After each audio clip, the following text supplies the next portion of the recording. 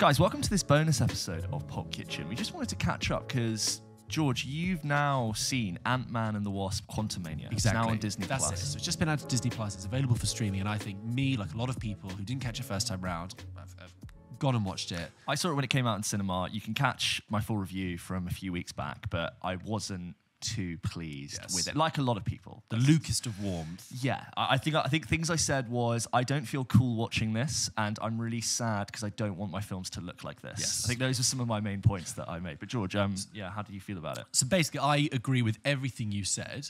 For me, it wasn't like I came out and thought, God, rub my, rubbing my hands, going, what a dumpster fire. God, what a, what a huge car crash. I actually found the whole experience really, really depressing. Yeah. And actually just sad. Yeah. Because I was watching, for me, Ant-Man Quantumania is like that entire film from as soon as they go into the quantum realm, from then on in, the whole film misunderstands what Ant Man is, the, the why the audience is here to see Ant Man. It misunderstands the talent of Paul Rudd. Yeah. It misunderstands our investment in the story, and it just goes in a direction. And like you said, like eight minutes into the film, it just eight minutes. It just goes into this. Whoa, yeah. And it goes into this direction, and I'm thinking, ah, the horse is bolted, and I have to sit here now for the remaining two hours and watch something that I think is just so misjudged. Yeah. You, you. What I mean by what I just said is that like it's clear. I, I felt like no one, the film, no one who made this film wanted to make th- this version of this film. I have a feeling that there was an, a vague idea for Ant Man 3, and then the top level of Marvel said, we need to introduce Kang, and we're introducing him in this film. And every single. They'd already written this multiverse. Any line. single sort of character trait or unique uh, things that are unique to the world of Ant Man, to the identity of Ant Man, were completely overwritten to serve the need to bring in Kang. So my point is. You have the first two Ant Man films, look, which I I liked Ant Man one, Ant Man two. I think is completely forgettable. Forgettable, yeah, completely boring, yeah. forgettable. But like, I like Paul Rudd. I like the character of Scott Lang. I loved him in Endgame. I loved that, Yeah. that whole role there. And you know, like whether you, however we feel about those first two films, they had a setting. It was San Francisco. It was smaller stakes, no pun intended. Um, you had, you know, uh, Luis. Um, um, what's the what's the, the actor's name? Michael Pena playing, uh, and you know, T. Was it Ti or T Pain or Ti, Ti. and yeah, that Edgar Wright cutting style. That, Yes. remember that? Like, so I told this guy, and he's Yeah. like, "Hey, you gonna do that?" and it's, kind of like and yeah. fun and loose, and at, at its worst, it was like a little bit annoying and low stakes, and a little bit boring. But like it was like that was the world you'd created, Mm.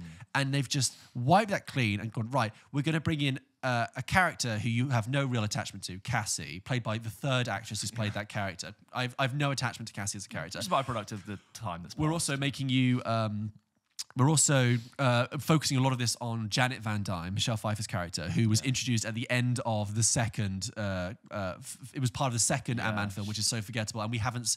It's been five years since the last Ant Man film came out, right? So you're leaning on two characters we really don't have a strong attachment to, and everything that made Ant Man interesting, which is him in the real world, going down and being small and being big. basically no longer irrelevant. It's no longer Small. relevant because in the quantum realm, anything can happen. And everything was big Anything- compared to their scale. it's all anything, it's all yeah. irrelevant. And um, you know michael douglas is just there on, f- for the ride and you just get to the quantum realm and it's a bit like we were saying uh, in the other thing about fast x being like well there's no logic so you can just you know do what you want. And it's the same thing with quantum realm. It's like well it's the quantum realm. Anything can happen. And as there as an audience member. I'm like well that means i have no idea what the stakes are. Yeah. you can be can you go big? Can you go small? It's just gloopy If I, if I fall there, do I take damage, or will my suit Yeah. just bounce me off it? is it there of another is there another level below the quantum realm? Yeah. can, I go, can I go big? Like it really it just was quite dull. The whole i found the whole thing dull. And also the fact is i don't think visiting the quantum realm for two hours Mm. is enjoyable. I think the quantum realm should be used in short bursts and be like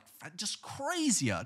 As Mm. soon as they started talking to people i was like so basically it's like the real world in that there are civilizations and there are bars and there are cafes and there are Bill Murray doing pro- the, oh the my Je- god trying to do the Jeff Goldblum thing from Thor Yeah. Ragnarok, but just not.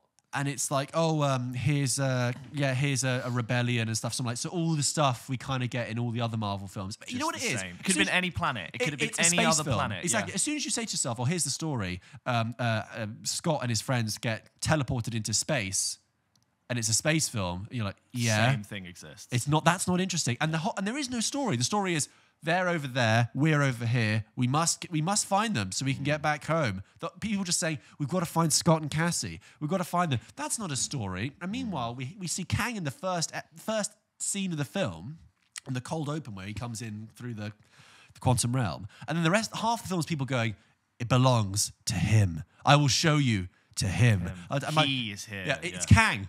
We all know it's Kang. He's in the trailer. He's on the poster. He's at the beginning of the film. There's just nothing. And then the the MODOK thing. Oh, oh my Corey Do you remember I told you I was like there was a there was a, a decision with the design of a character that I cannot I could not believe was Yeah. approved. I, I think I think that is just completely ridiculous, and it's just laughable. It's Right. the worst CG I've seen since. But even not, the, but even the concept. It's not even just the, the, Yeah. the like the. it wasn't it's like- threatening. it wasn't No. menacing. It wasn't funny. It's a minion. It wasn't. It, it was a minion. It was so uncompelling in every single Yes, way. and then There was not a single vector with which it, it was trying to, which you think it yeah, succeeded. it didn't engage in any single way. And then you have this kind of like redemption bit where they try and make him funny and interesting. I'm just like, oh, I really, really don't care. You And- just like whatever, like sort of, uh, however impressed you were with him, Corey Stoll as a villain in Ant Man One, just Yeah. completely ruins that. I just think that I th- and I, I've re- I felt really sorry for Paul Rudd because Paul Rudd is really trying in Yeah. this, and he's trying everything. And uh, yeah, all the things you said in your review, people running around a soundstage looking You can tell bewildered. they just don't know where I- they are and I what they're couldn't doing. care okay, less so you're about- running away from yeah. this thing now. Uh, go, guys. Yeah. and I couldn't care less about the gloopy design of this world. It was just lamp, yeah. nonsense, nonsense, nonsense, nonsense, like silly Doctor Who level kind of space aliens, uh, and at the worst of Doctor Who. I the worst. say. I think yeah, it's even insulting to Doctor Who. Yeah, to say to say that. Um, and also like there's a scene where like Kang and, and Scott are like talking, and I'm like, I just like Kang. I'm aware is a huge villain, and I just don't believe that Ant Man is a, is, is a hero capable of fighting him. There's no point where I thought, oh, it's so glad that Ant Man's here to, to, to fight him. It it, it, it it doesn't do a service to the traits that make Ant Man a proper hero. Both of them have plot armor as well, which I find just to be quite frustrating when you come to the end of a, a or a fight scene between two main people. And then also, um, I, I'm I that film has just kept me very confused about who, how, and what Kang is. Yes. I really I know they did that bit where they flashed back to uh, Michelle Pfeiffer and him like it working Yeah. together, but there's so there are so many lines which are I am this, I was this, I will be this. Yeah. And I find that very confusing to know what version of you am I speaking to. And then they have scenes where I see hundred thousand, hundreds of Yeah. thousands of them, which I understand is cool from one perspective. But it's like, who do I latch onto here? Can you can you snap this Kang's neck and he's just gonna yeah. be there anyway? Did this Kang die? Did this Kang Did die? this Kang die? Does it matter that this Kang died? Is Where's the one from Loki? Is that the is I that the OG? Is that the OG Kang? because that, that that scene in Loki was much more entertaining. Was, was was still very confusing. But I give you a pass because you're doing a very elusive introduction. Yes. I'm always like, okay, you can be a little bit confusing. You have my attention. I'm engaged. Yeah. It's a big bad. Now you give me a whole film. I still don't know who, what, when, how Yeah. Kang is, and that's I'm just a bit like, I What don't a- really what know a waste I don't know. I don't know where Kang's heading, where he's going to be, what he's trying to do.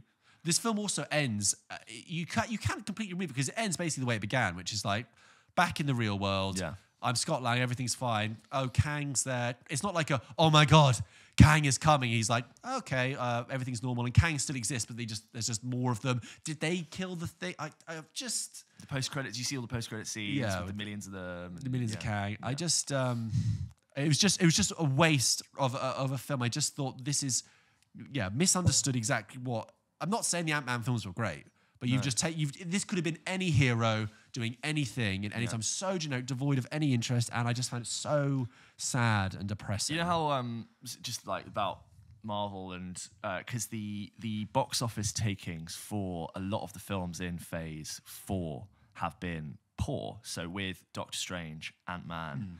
Um, Black Panther?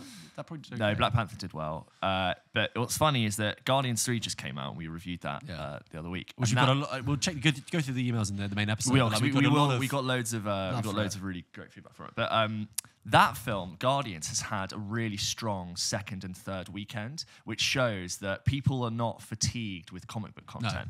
It's not. It's just about the quality. I Yes. really just don't think people want. You know what's funny is also um, when I when I when I saw Eternals, I gave it a really hard time for being boring. But like little did I know what was coming. I, I think I would take any Eternals over this. Hundred percent. Eternals at least was trying something different. At least was filmed in the real world, Yeah. with natural light. For God's sake. And yeah, like we just really didn't know what was coming. And I think, Mar- I, I, I don't think people are fatigued by comic book content. I think it's never been more popular. And, Like a lot of my friends who aren't sort of super into film be like, oh, I just feel like the Marvel thing's gone really starting to run dry. And I'm like, I actually just think the recent films are bad. Yeah. And you're just, it's only as good as the last one. And Guardians, I Yeah. think, is doing very well. I think also what Guardians shows is that you know that feeling people are having when they leave Guardians because it has that sense of finality, Yeah. an ending. I feel like saying to Marvel that feeling people have now, the opposite of that is what people are experiencing with the rest of your films. Yeah. So you have a film which ends, has a, has a conclusion, draws things to an emotional close, and people are leaving feeling jubilant, going, "Oh wow, I've seen the end of a concert. Yeah. I've come to the end of the thing. That was great." And they're leaving. Their word of mouth is spreading. They're going back to see it again. Mm. The opposite of that is this this just perpetually running story with no stakes that has a Mm. very vague intent, and that's how people felt with Ant Man. Just like, what? I don't. What, how am I supposed to feel here? You you're clearly you're not committing to anything because you want this thing to run and run up, run, run on. I, I, I'm not to throw Doctor Who under the bus again, but that's the reason why you and I kind of did stop watching Doctor Who once we got to our late teens because we were like, this is just going on forever. Yeah. I can't, I can't keep getting, I can't keep getting attached and wondering what's going to happen when I know this Yeah. show goes on. Yeah. And I think we both just kind of fell out of it for, for whatever reason because of that. I can't.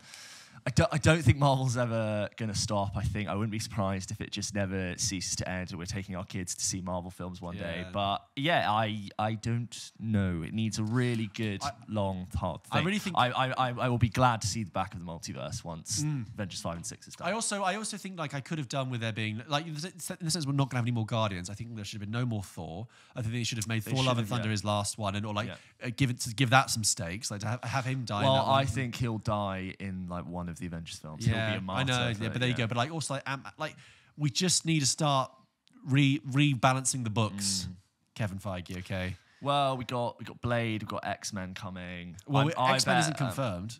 X Men we're not having till after Avengers six, so so how, how do you know they're not going to come in with? because they've got they yeah, but they'll they'll come in for the fight, George. Okay. and Hugh Jackman will be there and Deadpool. And Deadpool. Yeah, sure, but then, God, so but this, messy. but this is still. And Michael I, I, I, no, Fassbender's I, thi- I. I think that they've committed to doing this like Kang and the multiverse, and they're going to build to se- Secret Wars and the Kang Dynasty, and after that, I think they're going to restructure the MCU around X Men and Fantastic Four. Because that will be brand properties that, that by that point audiences wouldn't have seen for 10, 15 years. Yeah. And by that point, audiences will really have been fatigued with the existing heroes. It's just like, you know, change of the season, rest, put the other guys on the bench, center around Fantastic Four and X Men. Um, but I read it. It was an interesting point in uh, Variety. I think it was an article in Variety or Hollywood Reporter that was like, you do realize that m- the problem with Marvel at the moment is that they've set up like. Did I say this with you last week? Was it? No, I-. I- where they've they've basically set up six different sequels for films that we we they haven't announced. So you know, Kevin Feige gets down on the stage and Yeah. says that these are all the films we have coming out. We we know what's coming out for the next two uh, three years, right? Yeah. Three four years.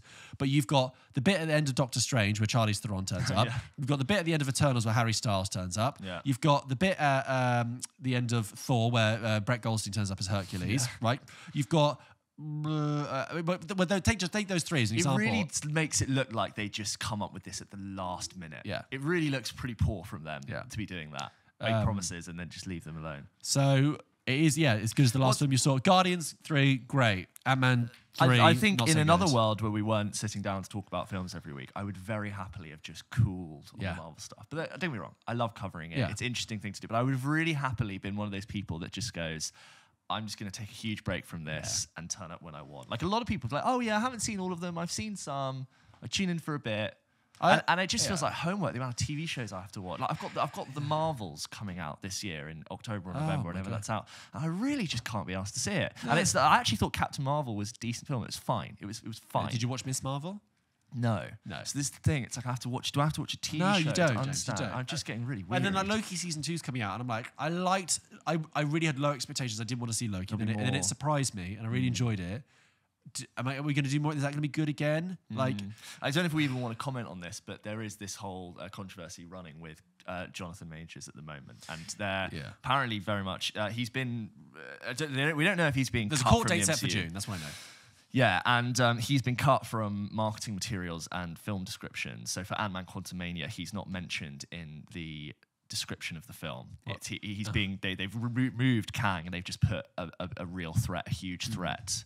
Um, and I don't know if they're priming to recast, which would be unlikely because we've seen a hundred 100,000, thousand yeah. versions of him, or if they Like you said, he- Doctor Doom will just. or yeah, or he just basically ends up retreating, and the real big bad is something else. But it, uh, it's uh, controversy aside, what uh, what an irritating shame to have to have set this up and have it all be changed. Yeah, in an last minute for- already messy environment. purely from looking at a Marvel selfish perspective of their story, it's a shame that that would have to Yeah, yeah. happen and just sort of. Anyway, uh, if you guys have caught up with Quant- Ant-Man Quantumania and you want, uh, you disagree with us, have we missed it? I don't think. Or just Marvel thoughts on Marvel thoughts, whole. you know, and yeah, let us know what you think about where Marvel is right now. We, you and I, over the course of this podcast, have really gone through Yo-yo, different waves. We yeah. defending Marvel, then we saw Eternals and Shang-Chi, and we've gone through apathy, and then we've got reinvested with it, and now we're kind of bewildered, like most we really people. are as, as good as its last film and how we feel about it. But there you go, guys. Let's send us your thoughts to hello at pulpkitchenpodcast.com. We hope you enjoyed this bonus piece of content. Don't forget, we post new episodes of the show every single Wednesday, so check that out. See you then.